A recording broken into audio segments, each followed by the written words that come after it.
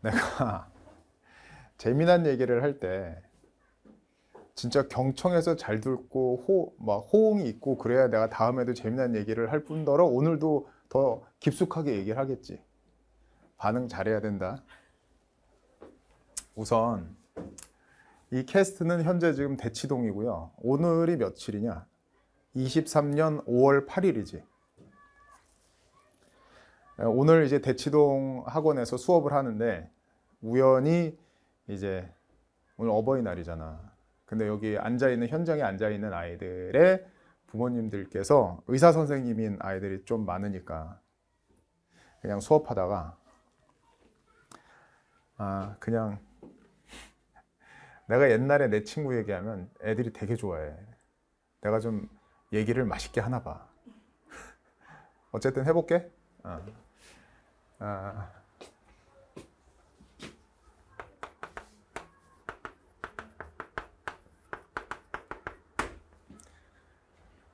선생님 고등학교 3학년 때 내가 얘기했지만 나 이과였다고 얘기했었지.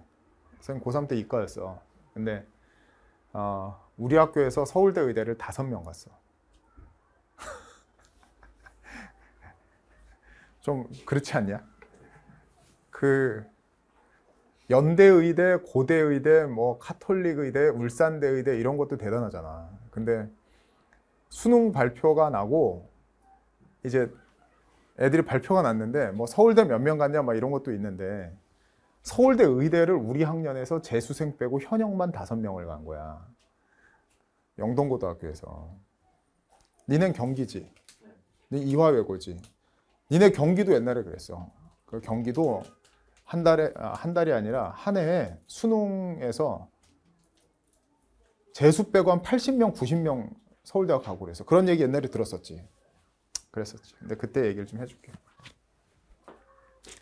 아까 어쨌든 발표가 나는데 서울대 의대를 우리 학년에서 다섯 명 갔다는 얘기를 듣고 내가 좀 황당해서 그냥 서울대 의대 거 어디 있는지만 알지 거기 실제로 내 친구가 들어갔다는 얘기가 너무 황당하지 않냐 그런 거? 네, 아, 그 얘기 해주려고 하는 거지. 우선 실명을 밝히면 분명히 회사에서 삐 처리하고 이거 금지할 거기 때문에 이름 세자 중에서 어, 음, 음, 음. 근데 이제 중간보다 맨 마지막에 어. 걔는 이름이 흠 흠 엽이었어. 엽. 어, 이렇게까지 얘기하면 회사에서 자르질 않아. 그러니까 얘기해줄게. 엽이었는데 아 어디서부터 얘기를 해야 되냐. 요즘 기사를 보면은 막 요즘에 다 의대에 가고 싶어 하잖아. 아, 그래서 한 번은 캐스트로 얘기해 줘야 되겠다 이렇게 생각했었지. 선생님 고3 때였어. 선생님 고3 때인데 어, 우리 학교에 자습실이 있었어. 근데 자습실이 학교 선생님들이 관리를 안 하시는데도 밤 11시, 밤 12시, 1시, 2시인데 어, 나는 2시까지 있어 본 적이 별로 없었거든.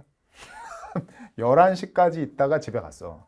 11시까지 공부하다가 집에 가다가 편의점에서 어, 튀김 우동이랑 왕사발 그거 컵라면 두 개 때리고 육각형 바나나 우유 아까 니네가 먹고 싶었다고 한 거 있잖아. 그거 하나 딱 때리고 집에 가면 그냥 편안하게 이렇게 하루가 마무리되는 거였는데 그냥 이렇게 살다가 보니까 뭐 이런 생각 좀 들, 들, 들더라고. 이게 밤 12시까지, 밤 1시까지, 2시까지 공부하고 아침 8시에 학교에 나오는 새끼들은 도대체 누구이나 이런 호기심이 좀 나잖아. 그래서 어느 날, 어, 좀, 몸 컨디션도 좀 괜찮아서 내가 남아봤어, 12시까지. 대부분 그때 가더라고. 그리고 나서 1시까지 더 있었어. 내가 이때까지 있었던 건 몇 번 없었어. 그냥 있었는데, 이때는 뭐 별로 없었지. 근데 이때 1시쯤에 자습실에서 이렇게 딱 나와서 좀 이렇게 좀 하루 종일 앉아 있으니까 좀 피곤하고 그러잖아. 그래가지고 우리 학교에 전진동산이라는 조그만 동산이 있는데 경기고등학교도 엄청 크잖아. 근데 영동고등학교도 좀 크거든. 근데 그 안에 그런 동산 같은 게 있었는데 거기에 가서 이렇게 막 체조도 하고 좀 이랬어. 근데 거기서 이 보기하고는 전혀 다른 어, 킹콩 선생님이 감성적이 된 거야. 그 왜 그러냐면 새벽 1시에 우리 학교 그 학교 안에 이렇게 있어 보니까 주변에 그 청담동의 불빛이 낮에는 화려한데 한시니까 다 꺼져 있잖아. 완전히 칠흑같이 어두운데 달빛이 자꾸 교정에 있는 걸 난 그때 느꼈어. 근데 그게 아름답더라고. 그러니까 옛날에 모차르트인지 슈베르트인지 모르겠는데 월광 소나타 뭐 그런 음악이 있지. 옛날에 사실상 월광 소나타 하면은 달이 뜨면 어느 새끼가 미치는 광이 미칠 광인 줄 알았는데 월광 소나타에서 그 월광이 달빛이 은은하게 자연에 싹 했을 때 이쁘더라고. 그 그때 생각했어. 아 절에서 쇼팽이 녹턴 야상곡 뭐 월광 소나타 저기 뭐 옛날 클래식 절에서 나오나 보다 뭐 이런 생각을 하고 있는 찰나에 오늘 이야기의 주인공 이 새끼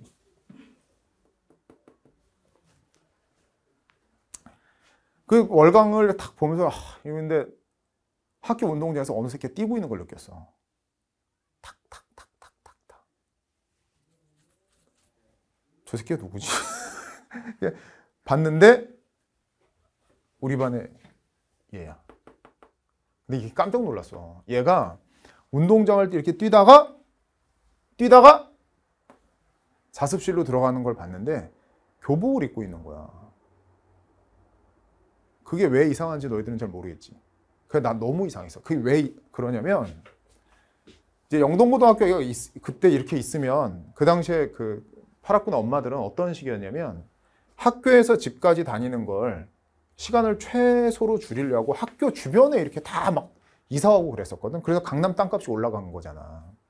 근데 우리 집도 실제 우리 집도 우리 집에서 고3 우리 교실까지 1분이 안 걸렸어. 뛰어가면. 그리고 가까웠거든. 그래서 자습실에서 공부했다고 그랬잖아. 그러니까 학교 끝나고 집에 가서 샤워하고 편한 옷으로 갈아입고 슬리퍼 신고 엄마가 주는 가식 뭐 저녁 먹고 간식 들고 뭐 텔레비 조금 보다가 학교로 다시 들어오면서 애들이랑 뭐 인사도 좀 하고 뭐 농구도 한 판 하고 뭐, 뭐 이런 식으로 아주 편한 뭐, 그, 뭐 이런 식으로 공부를 했는데 저 쟤는 새벽 1시까지 교복을 입고 있는 거야. 내 생각 내가 알고 있기라도 쟤네 집도 학교 바로 옆이었거든. 근데 교복을 입고 졸리다고 도, 운동장을 뛰고 있는 거지. 쟤는 옷 갈아입는 시간도 아까웠었나 봐. 나는 몸이 뚱뚱해서 그런지 몸이 비대해서 그런지 모르겠는데 똑같은 옷 계속 못 입고 땀내새 나고 막 그 내 몸을 조이는 것 같은 그 교복을 그 시간까지 입고 있을 상상을 못 했었거든. 그러면서 무슨 생각이 딱 떠오르냐면 나는 맨날 11시에 집에 가다가 오늘 딱 1시에 남아본 거잖아. 저 새끼 맨날 밤 12, 얘 맨날 밤 2시까지 학교에서 교복 입고 안 갈아입고 그 갈아입는 시간조차 아깝다고 생각하고 졸림 운동장 뛰면서 매일 쟤는 저렇게 한 거 아닌가라는 생각이 좀 들었어. 그러면서 내가 무슨 생각했냐면 아까 내가 감상에 젖었다고 했잖아. 월광 소나타. 근데 그 생각이 뭐로 바뀌냐면 제가 운동장을 교복 입고 뛰는 동안에 하늘이 쟤를 받겠구나. 저 달림이 쟤를 받겠구나. 저런 게 하늘을 감동시키는 거 아닌가? 뭐 이런 생각을 좀 했어. 근데 그리고 뭐 근데 이제 선생님이 멋있게 보이려면 아 그래서 나도 깨달아서 이때까지 계속 공부했어 뭐 이래야 되잖아 근데 거짓말을 하면 안 되고 나는 그냥 이때까지 공부하고 맨날 집에 갔어 그냥 계속 근데 그리고 나서 그 해에 수능이 끝나고 발표 났는데 서울대 합격상수 뭐 그때 한 70명인가 80명인가 그러고 의대 합격생 5명인데 얘가 그 안에 들어와 있는 거야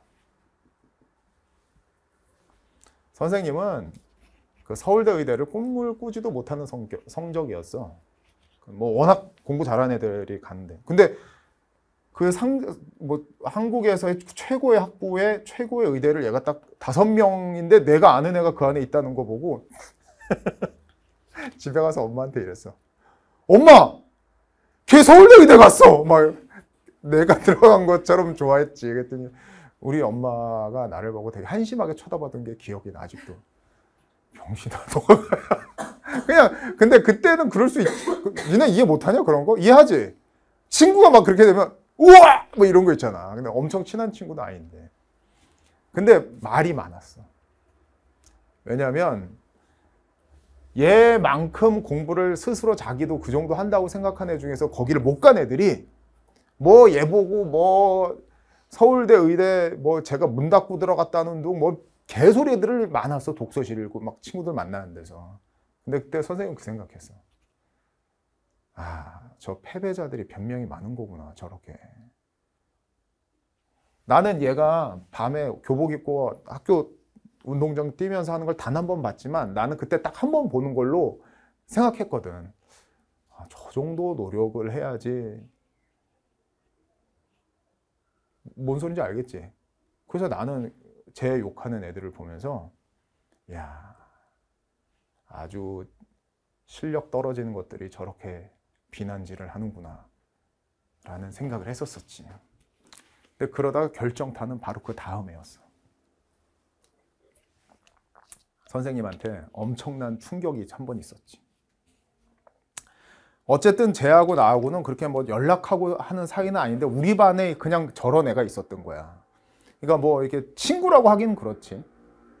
그리고 그 다음에였어. 뭐 솔직하게 다 얘기하니까 기분 좋다 편안하고. 그 다음에 선생님은 반수를 하기로 했어. 학교 다니다가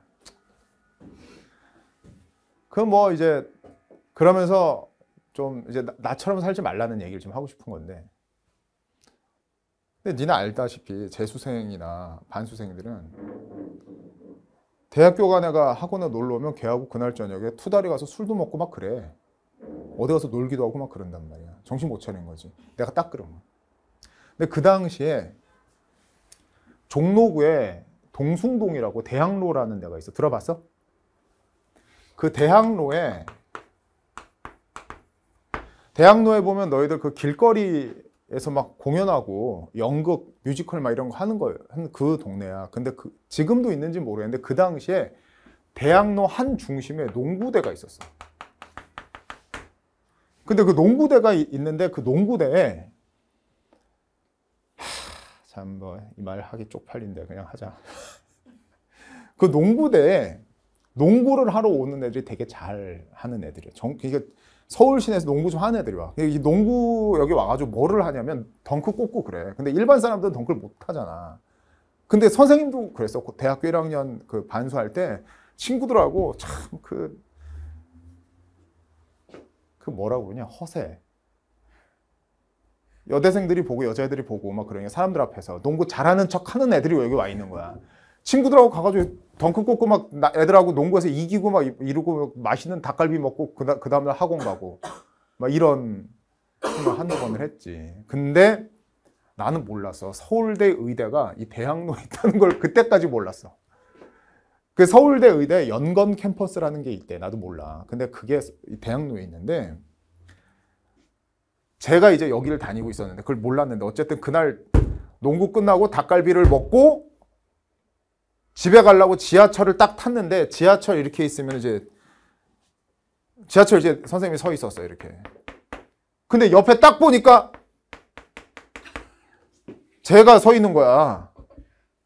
근데 얘 옆에 오, 오랜만인 거지. 그 야 하고 이게 인사를 하고 싶었는데 얘 옆에 딱 보니까 어떤 여자친구가 이렇게 머리 긴 여자친구가 서 있는 거야. 근데 봤는데 연예인같이 예쁘더라고. 근데 무슨 생각을 했냐면 서울대 의대를 가니까 저렇게 예쁜 애 사귀나 보다. 그러면서 내 옆에 있는 내 친구들을 봤어. 내 친구들 하나같이 뚱뚱하고 키 크고 얼굴이 힘쓰게 생겼어. 근데 거기서 이제 엄청난 깨달음을 얻었던 게 니네 이거 잘 봐. 너희들도 문득 그런 거였어. 니네 지하철 앞에 이렇게 서 있으면 지하철이 이렇게 팡팡팡 이렇게 지나가면서 그 유리가 반사되는 유리는 아니지만 투명한 유리지만 그걸로 내가 보일 때 있잖아. 보이는데 그 지하철이 문이 싹 천천히 되는 순간 더 또렷하게 보이잖아. 근데 그때 얘는 그 거울에 비춰진 쟤하고 나하고의 그 대조 대립 나대의 법비 말이야. 내가 나시고 얘가 버신 거다. 근데 내 모습은 그냥 후줄근한 티셔츠에 땀이 났다가 이제 마른 대충 입은 옷에 불안한 미래의 잘생기지 못한 얼굴이 이렇게 보여지는데. 얘는 얘는 얘는 그 대학생인데 왜 그거 있잖아. 아주 재수도 안 하고 바로 최고 명문 대학교 들어간 애들이 입는 원래 그날 느껴서 그랬는지 모르겠는데 아주 단정하고 댄디한 이런 세미 정장 같은 거 있잖아. 의대생 막 이렇게 아예 그냥 어, 의대생 써 있어? 그런 게 이제 비교되면서 그 지하철 눈에 이렇게 비교되면서 한편으로는 야 제가 진짜 멋있게 됐구나. 저기 이제 고등학교 때 선생님들이 공부 열심히 하라는 게 저거구나. 한편으로는 아 이거 내 인생 뭔가. 막. 그리고 세월이 지났어. 세월이 지나서 얘는 지금 어디 있냐면 가끔 얘가 궁금했어. 얘는 어디 있냐면 치면 나와. 아, 이거 캐스트 끝나고 밝힐 수 없으니까 니네들한테 이름 알려줄게. 그냥 너희들 네이버에서 나랑 같이 치는 시간을 가져보자. 알았지? 쟤는 정말 명문대학교에 의대 교수가 지금 돼 있어. 의대 교수가. 그래서 가끔 선생님하고 이제 수능 끝나면 현장이나 아니면 온라인 Q&A 게시판으로 선생님 뭐 한 해 동안 고생 많았어요. 너무 감사합니다. 저 어느 학교 어디 갔어요 하고 애들이 감사글 남기는데 저 학교 그냥 의대 가는 것도 힘든데 저 학교 제가 교수로 있는 저 학교 의대에 간, 갔다는 뭐 글이 있잖아? 그럼 나는 좀 반가워. 야, 그 학교 의대 진짜 좋은데요. 그러면 만약에 누가 나한테 선생님 그 의대 아세요? 뭐 이렇게 얘기하면 쥐뿔도 모르는데 그냥 내가 인정하는 애가 거기 학교 교수니까 그렇다고 뭐 애는 아니지 친구도 아니고 그냥 아주 멀리 있었던 그런 애. 되게 기분 좋지. 그래서 어른이 돼서 살아보면 고등학교 때 하늘을 감동시키고 그 월광 소나타 그 아래에서 뛰는 정도로 막 그렇게 열심히 하고 정말 우리가 다 같이 인정하던 그런 애들이 의사 선생님 되고 학교 선생님 되고 막 변호사 선생님 되고 막 이렇게 돼서 어 각계각층의 가장 중요한 중추에서 역할을 하고 있는 거야. 그래서 어른이 되면은 음, 니는 아직 애잖아. 애새끼들이잖아. 그지? 니네는 이 나라를 어떻게 볼지 모르겠지만, 이 어른이 되면, 신문에 나와 있는 안 좋은 뉴스들을 보면, 애들 입장에서는 우리나라는 왜 이렇게 안 좋은 뉴스만 있어? 라고 느낄 수 있는데, 어른이 되면 그 안 좋은 뉴스를 보면서 이 나라는 정말 희망이 있다라는 걸 느끼게 돼. 왜 그러냐면, 우리나라에서 발생하는 사건 중에서 천 건의 사건 중에 999건은 다 좋은 일들인 거야. 그러니까 뉴스에 안 나와. 근데 그 중에서 999건 다 좋은 건데 그 중에 한 건이 완전 이상한 일이 발생한 그게 뉴스에 나오는 거거든. 이해가 됐어? 뉴스에 만약 거꾸로 이런 뉴스가 나오는 거지. 길거리 가는데 어떤 할아버지가 만 원짜리 동전을 만 원짜리 지폐를 떨어졌는데 경기고등학교 학생 진우하고 현우가 주워서 할아버지 놓치셨어요. 이거 빨리 가져가세요. 뭐 이런 좋은 뉴스. 이런 뉴스는 안 나오잖아. 무슨 말인지 알겠지? 저렇게 공부 잘한 애가 그런 좋은 대학교에 가서 교수님 되면서 훌륭한 애들 가리킨다. 이런 거 뉴스 안 나와. 당연한 일이니까. 그래서 어른이 되면은 특히 이제 뭐 내가 학교 선생님, 뭐 의사 선생님 이런 사람들 되게 좋아하는 게 그래서 그렇지. 그래서 오늘 여기 대치동 현강에 애들이 아버님이 의사 선생님들이 많이 있어서 얘기한 거야. 그래서 결국은 내가 하고 싶은 요지는 나는 언제까지 공부했다고? 니네는 오늘부터 이때까지 공부. 알았어? 이렇게 공부해가지고 나처럼 살지 말고 얘처럼 살아. 알았어, 몰랐어. 알았지? 끝.